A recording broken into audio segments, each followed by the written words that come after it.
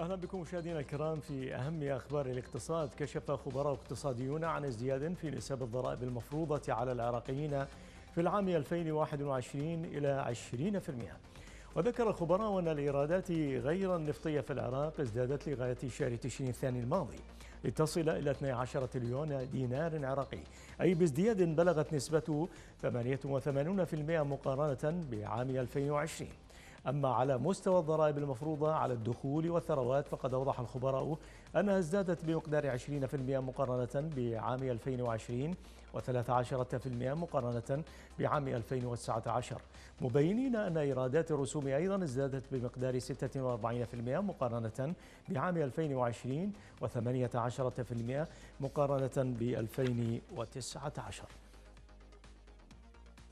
توقعت وكالة الطاقة الدولية نمو استهلاك الطاقة الكهربائية في العراق لأكثر من 6% سنويا مبينة أن الطاقة الشمسية لن تسهم كثيرا في آه، خلال المدة من 2022 وحتى 2024 وقد ذكرت الوكالة أن الحكومة تقوم بتخفيض عجز الطاقة تدريجيا مع استكمال مشروع واحد في الأقل استثمار الغاز والعديد من مشروعات إعادة إحياء المحطات التي تعمل بالغاز.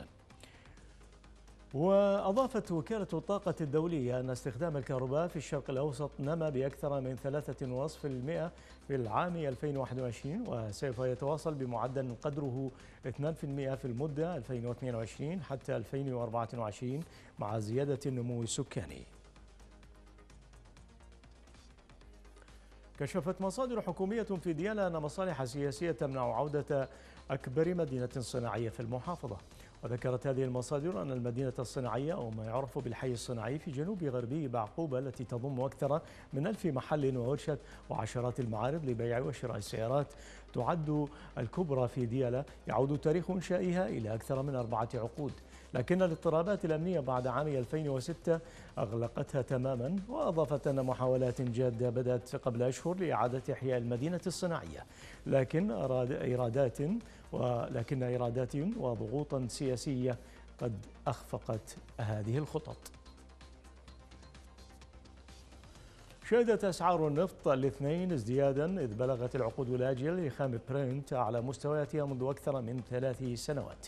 ويراهن المستثمرون على أن المعروض سيظل ضيقا وسط قيود الإنتاج من كبار المنتجين مع عدم تأثر الطلب العالمي من جراء متحور أوميكرون. زادت العقود الآجلة لخام برنت ستة سنتات لتصل إلى 86 دولارا و12 سنتا للبرميل. حين ازداد خام غرب تكساس الوسيط الأمريكي 17 سنتا ليصل إلى 83 دولارا و47 سنتا للبرميل. وجاءت المكاسب عقيب زيادة الأسبوع الماضي عندما صعد برنت خمسة درجات وأربعة عشر درجة في المئة. وصعد خام غرب تكساس الوسيط ست درجات وثلاثة عشر الدرجة في المئة. هذه انتقالة مختصرة لمعرفة أسعار صرف العملات الأجنبية والمعادن.